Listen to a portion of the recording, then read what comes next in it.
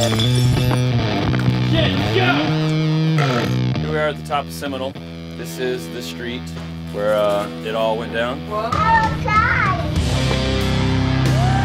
I knew at a young age that he was fearless. I didn't really know he was going to get into skating so much. But Grant comes from skateboard stock, that he grew up around it.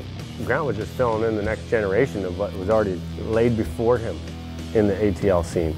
He was something that I was definitely knew that it was a little ahead of its time. Grant was doing work. He was putting in work. You could just tell that he was so fucking serious about this shit. That was the beginning of everything. He really fucking kicked it into gear. That's when it was like, like this dude is fucking gnarly. I'm a fan. I'm a fucking skateboard super fan. Fuck dude, Grant Taylor. Does anybody do it better than that? No.